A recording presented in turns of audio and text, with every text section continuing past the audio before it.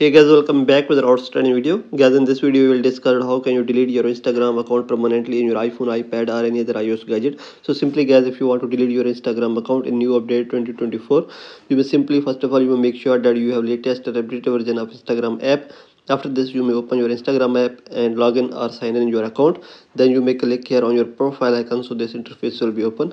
Click here on three lines on top right corner. So click here guys and here the first option uh, settings and privacy you may click here and you will see that here the option of account center you may click here on account center guys. So this interface will be open. Here you will see that here the option of personal detail in accounts and settings you may click here on personal detail. And guys here is the option of account ownership and uh, control you may click here and here the option of deactivation or deletion account. So you may click here guys.